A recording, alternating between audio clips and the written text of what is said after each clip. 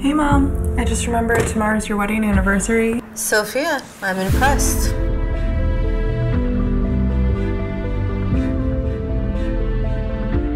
Do you watch the news, Sophia? Well, stop! I'm a big girl, and Omar's a wonderful.